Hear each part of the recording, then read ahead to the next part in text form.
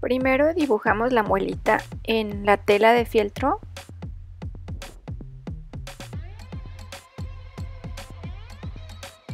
Después lo doblé para cortarlo doble para que sea la parte de adelante y la parte de atrás de nuestra bolsita para cortar una sola vez y que queden los dos perfectos. Y cortamos excedentes para que queden muy bien.